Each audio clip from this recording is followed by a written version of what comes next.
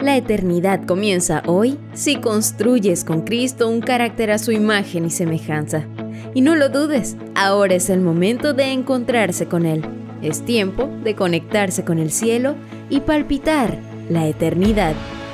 Bienvenido al devocional para jóvenes, escrito por Víctor Armenteros.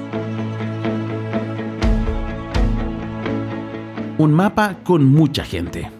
Génesis 15, 18 dice, aquel día hizo Jehová un pacto con Abraham diciendo, a tu descendencia daré esta tierra, desde el río de Egipto hasta el río grande, el Éufrates. Hay una pequeña moneda en Israel que suscitó muchas polémicas, la moneda de 10 agorot.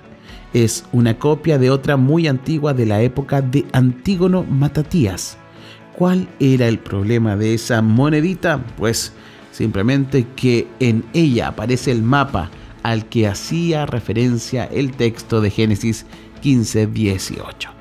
Por el sur el mapa limita con Egipto y por el norte con Irak.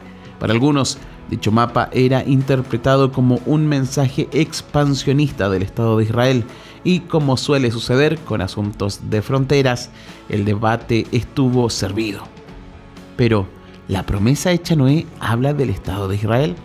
No, la promesa habla de la descendencia de Abraham, y Abraham es el padre de muchos pueblos. Isaac era el hijo de la promesa. De él surgirían los descendientes de Jacob que se convertirían en hebreos y posteriormente en judaítas, los que vivían en Judá. Israelitas, los que vivían en el reino del norte. Samaritanos, los que se mezclaron con los cuteos. Y los judíos, los que volvieron del exilio. Ismael era el hijo de Agar y padre de las gentes del desierto. De él surgirían los pueblos árabes Simram, Joxán, Medan, Madian, Uzbak y Suá, quienes eran hijos de Setura. De ellos vinieron los nómadas del sur, entre los que destacan los madianitas, es decir, que el pacto era tanto para judíos como para árabes. ¿Mucha gente para un mapa? No. Primero, porque los mapas de Dios cabe todo el mundo. Todas las personas son hijos de Dios, tengan las creencias, tradiciones o culturas que tengan. Un Sabrá en Jafo es hijo de Dios. Un ortodoxo judío en Mea Shekiram es hijo de Dios. También un Sunni de Amán y un Chili de Hezbollah.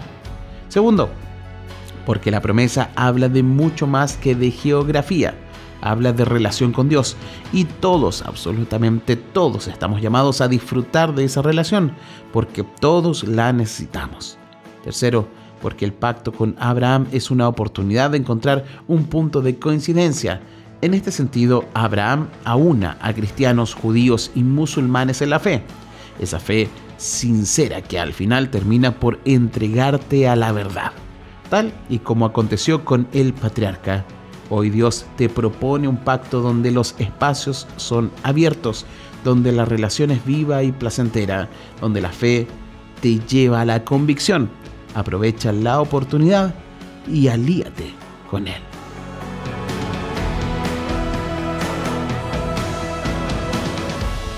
Esto fue Palpitando la Eternidad, un devocional para jóvenes como tú y como yo. Sigue en la sintonía de Radio Nuevo Tiempo